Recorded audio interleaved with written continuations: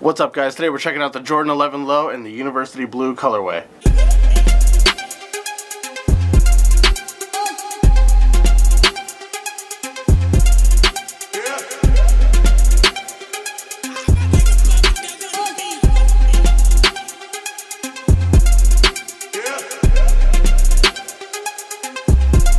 This 11 low comes with the Carolina Blue patent leather and the white leather upper and the Carolina Blue hit on the Jumpman here, black 23, as well as the Carolina Blue hits on the pods in that translucent 11 sole. This 11 low is a tribute to Jordan and his time at the University of North Carolina. They were a 175 price point and they actually haven't been retroed since 2001. I did grab these from the Dunk Exchange slash BET experience from the homie Allen. It was a very general release shoe that is still sitting in some stores as well as online. As always, thanks for watching guys. Make sure you subscribe, stay tuned, stay heavy.